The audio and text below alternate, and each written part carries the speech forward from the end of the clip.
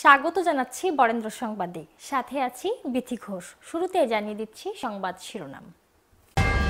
রাজশাহীর রাজাবাড়ি কলেজ অধ্যক্ষকে পেটানোর ঘটনায় উদ্বেগ প্রকাশ করেছেন সাংসদ বাদশাহ। রাজশাহীতে কলেজ অধ্যক্ষকে পেটানোর অভিযোগ নাকচ করলেন এমপি ফারুক চৌধুরী।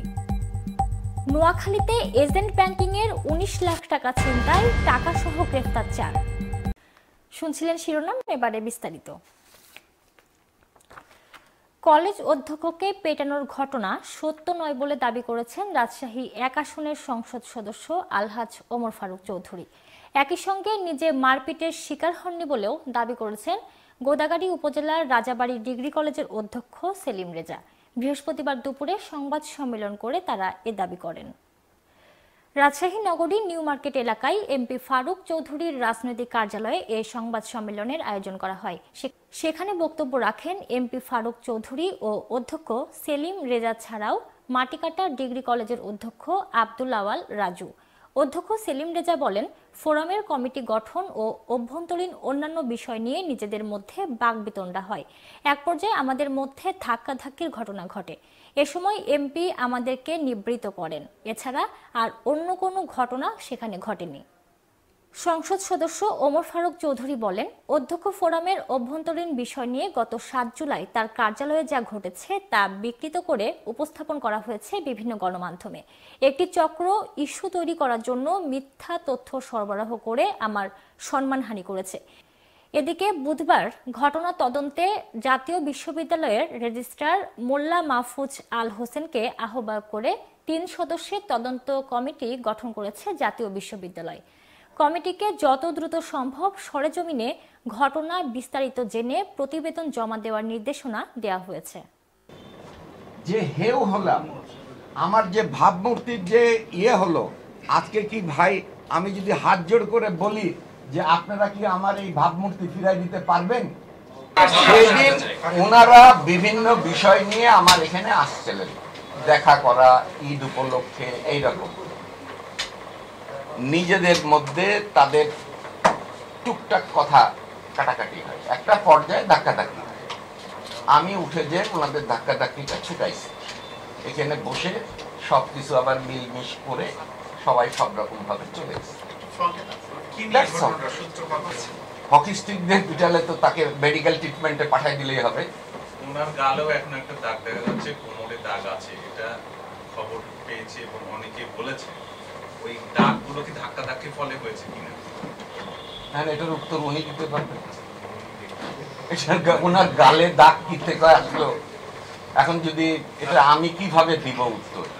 তো তেরো তারিখের যে নিউজটা হয়েছে দৈনিক যুগান্তরে গত তেরোই জুলাই দু হাজার বাইশ দৈনিক যুগান্তর পত্রিকায় আমার এবং এমপি মহোদয়কে নিয়ে যে সংবাদ প্রকাশিত হয়েছে তা আমার দৃষ্টিগোচর হয়েছে যা মিথ্যা ভিত্তিহীন এবং মন গড়া এমপি সাহেবের রাজনীতি প্রতিপক্ষ, একটি চক্রমহল। আগামী পনেরোই জুলাই তানোর উপজেলা আওয়ামী লীগের কাউন্সিলকে কেন্দ্র করে গোদাগাড়ি তানোর নির্বাচনী এলাকা উমর ফারুক চৌধুরী সুনাম এবং উন্নয়নের জনপ জন জনপ্রিয়তার ঈর্ষান্বিত হয়ে মিথ্যা এবং তথ্য মন গড়া পরিকল্পনা কাল্পনিক এবং ভিত্তিহীন সংবাদ প্রকাশ করা হয়েছে। রাজশাহীর গোদাগাড়ি উপজেলার রাজাবাড়ির ডিগ্রি কলেজ অধ্যক্ষকে পেটানোর ঘটনাসহ দেশে সাম্প্রতিক সময়ে শিক্ষকদের হত্যা ও নির্যাতনের বিষয়ে গভীর উদ্বেগ প্রকাশ করেছেন বাংলাদেশ ওয়ার্কার্স পার্টির সাধারণ সম্পাদক ও রাজশাহী এক সদর আসনের সংসদ সদস্য ফজলে হোসেন বাদশাহ। বৃহস্পতিবার বিকেলে নগরীর হরগ্রামে তার নিজ বাসভবনে সাংবাদিকদের সামনে তিনি বিভিন্ন বিষয় নিয়ে বক্তব্য রাখেন। এমপি বাদশাহ বলেন, দেশের বিভিন্ন স্থানে শিক্ষক নির্যাতন দিন দিন বেড়ে চলেছে। শিক্ষকরা জাতির বিবেক, তাদেরকে হত্যা করা হচ্ছে। তিনি বলেন, এ সব কিছুর দায় রাষ্ট্রকে নিতে হবে। রাজশাহীর ঘটনায় গভীর উদ্বেগ প্রকাশ করে এমপি বলেন, শিক্ষক পেটানোর ঘটনায় একজন সংসদ সদস্যের নামে অভিযোগ উঠেছে। এ ঘটনায় তিনি নিরপেক্ষ তদন্ত করে দোষীদের শাস্তির দাবি করেন। শিক্ষকদের ঐক্যবদ্ধ হওয়ার আহ্বান জানিয়ে এমপি বাদশাহ বলেন, এ ঘটনায় তীব্র প্রতিবাদ হওয়া প্রয়োজন আর এতে তার সমর্থন থাকবে বলেও জানান এই বর্ষিয়ান রাজনীতিক। আমরা শুনলাম যে গোদাগাড়ি থানায় রাজাবাড়ি কলেজে প্রিন্সিপালকে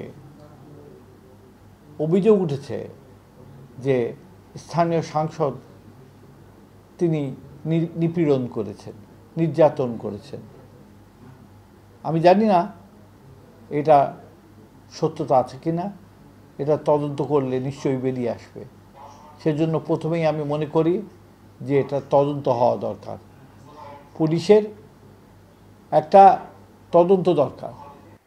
রাজশাহী সিটি কর্পোরেশনের রাজশাহী মহানগরীর সমন্বিত নগর অবকাঠামো উন্নয়ন শীর্ষক প্রকল্পের বাহিরে বিভিন্ন উন্নয়ন কার্যক্রম সমূহ দ্রুত বাস্তবায়ন ও কার্যক্রম তদারকির লক্ষ্যে গৃহীত কমিটির সমন্বয় সভা অনুষ্ঠিত হয়েছে। বৃহস্পতিবার দুপুরে নগর ভবনের শরীর দত্তগুপ্ত সভাকক্ষে অনুষ্ঠিত সভায় সভাপতিত্ব করেন রাজশাহী সিটি কর্পোরেশনের mayor A H M Khairuzzaman Liton. সভায় সভাপতির বক্তব্যে মেয়র লিটন বলেন রাজশাহী মহানগরীর সমন্বিত নগর অবকাঠামো উন্নয়ন প্রকল্পের আওতায় মহানগর জুড়ে ব্যাপক উন্নয়ন কাজ এবং এই প্রকল্পের বাইরেও বিভিন্ন উন্নয়ন প্রকল্পের কাজ চলমান। এ সকল কাজ সমাপ্ত হলে বদলে যাবে রাজশাহীর বর্তমান চিত্র। এ সময় কাজ দ্রুত বাস্তবায়ন ও সঠিকভাবে তদারকির লক্ষ্যে সকলকে সঠিকভাবে দায়িত্ব পালনের তাগিদ দেন তিনি। সভায় বর্জ্য ব্যবস্থাপনা, আধুনিকায়ন প্রকল্প, চকপাড়া এলাকায় স্যাটেলাইট টাউন নির্মাণ প্রকল্প সহ বিভিন্ন অবকাঠামো নির্মাণ বিষয়ে বিস্তারিত আলোচনা ও সিদ্ধান্ত গৃহীত হয়। সভায় রাশিকের বিভিন্ন ওয়ার্ডের কাউন্সিলর বৃন্দ, প্রধান নির্বাহী কর্মকর্তা doctor A B M Sharif Uddin, সচিব মোহাম্মদ মশিউর রহমান, রাজশাহী শিক্ষা বোর্ডের সাবেক চেয়ারম্যান প্রফেসর মোহাম্মদ তানবিরুল আলম রাজশাহী কলেজের সাবেক অধ্যক্ষ প্রফেসর হবিবুর রহমান সহ অন্যান্য কর্মকর্তাবৃন্দ উপস্থিত ছিলেন। নোয়াখালীর বেগমগঞ্জের চৌমুহনী পৌরসভা এলাকা থেকে ডাচ বাংলা ব্যাংকের এজেন্ট ব্যাংকিং এর এক কর্মীর কাছ থেকে উনিশ লাখ টাকা ছিনতাইয়ের ঘটনায় চার ছিনতাইকারীকে আটক করেছে পুলিশ। এ সময় ছিনতাই কাজে ব্যবহৃত তিনটি মোটরসাইকেল সহ চার লক্ষ চুয়ান্ন হাজার টাকা উদ্ধার করা হয়। বৃহস্পতিবার দুপুর একটায় জেলা পুলিশ সুপার কার্যালয় হলরুমে আয়োজিত এক প্রেস ব্রিফিংয়ে এসব তথ্য জানান নোয়াখালী পুলিশ সুপার শহীদুল ইসলাম। গ্রেফতারকৃতরা হল চৌমুহনী পৌরসভার চার নং ওয়ার্ডের পৌর করিমপুর এলাকার জুবাইদ হোসেন বিপ্লব, সাত নং ওয়ার্ডের পারভেজ, দুর্গাপুর ইউনিয়নের আমিরুল ইসলাম সুজন, চৌমুহনী গণিপুর এলাকার মোহাম্মদ শাহাবুদ্দিন।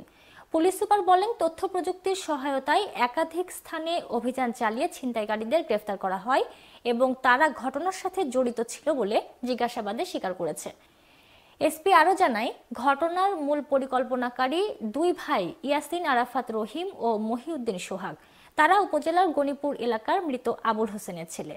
পুলিশের অভিযান টের পেয়ে তারা পালিয়ে যায়, তবে তাদের বসত ঘর থেকে চার লাখ উনিশ হাজার টাকা উদ্ধার করা হয়। বাকি আসামিদের কাছ থেকে পঁয়ত্রিশ হাজার পাঁচশো টাকা জব্দ করা হয়। আটককৃতরা জানায় সুজন দুই লক্ষ টাকা, বিপ্লব এক লক্ষ, পারভেজ এক লক্ষ টাকা ভাগ হিসেবে পায়। বাকি টাকা সোহাগ নিজের কাছে রেখে দেয়। অপর পলাতক আসামিদের গ্রেফতারে পুলিশের চেষ্টা অব্যাহত রয়েছে বলেও জানান পুলিশের এই ঊর্ধ্বতন কর্মকর্তা। এই ছিল বরেন্দ্র সংবাদে, সাথে থাকার জন্য ধন্যবাদ।